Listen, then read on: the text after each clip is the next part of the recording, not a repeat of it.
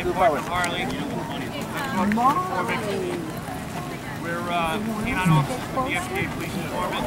I have a canine explosive protection policy also does uh, evidence search, article search, and uh, tracking. Uh, he's eight years old. He's been uh, employed with us for seven years. And uh, that's about what I have for, uh, for you guys. Ma'am, any questions? Or,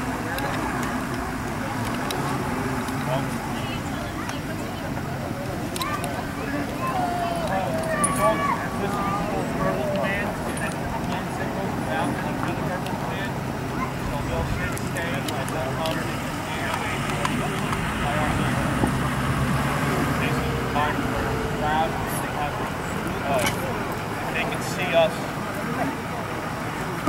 Our, our hand cams by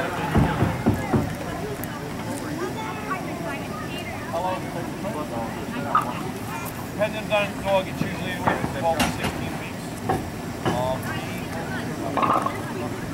Explosive detected for 12 weeks. yeah. Like those dual purpose German Shepherds. For training, that's an extra 16 weeks. I guess they're always learning. And, and we do monthly in-service training on top of daily training that we'll do it ourselves um, for both uh, obedience and for uh, any kind of explosive detection or apprehension or what we call tracking work, which will either track a wanted person, a lost person, a lost child, um, any elderly who might have, with dementia, who might have uh, wandered off, they, they also track for that. So uh, they do a lot of a lot of things other than just the see dogs fight, and, and they do a lot of uh, a lot of certain work with this kid and, and.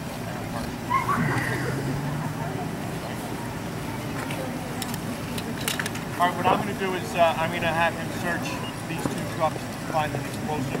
His indication for finding the explosive is the passive indication. He'll just sit and he'll let me know that he found uh, what, what it is we're looking for. Okay? I'm gonna do it.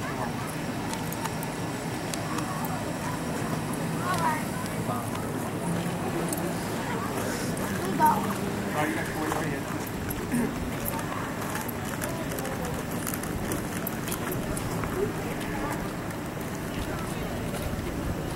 Detection work, we do all, all of our system training is positive reward.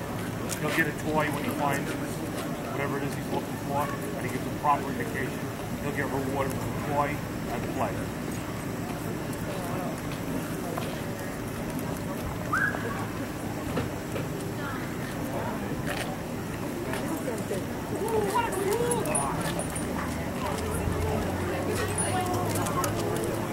Start off the training, we play with a simple game of fetch.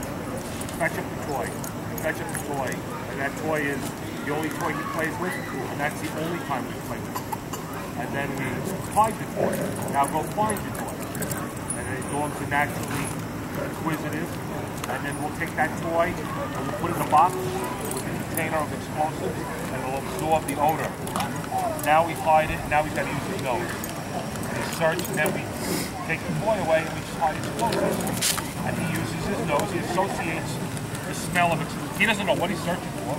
He searches for the odor of explosives and associates that with the play positive. That's his, that's his motivation and reward, time reward. I'm going to take my guy out now, and we have some kid in the bushes back here, and I'm going to have to locate that up here. What we call an open field search. Not everything is in a building, not everything is in a vehicle.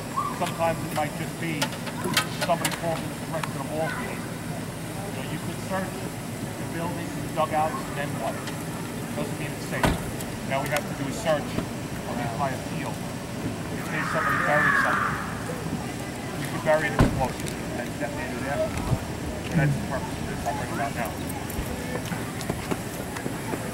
You guys might want to move down this way just a little bit here. Behind the truck.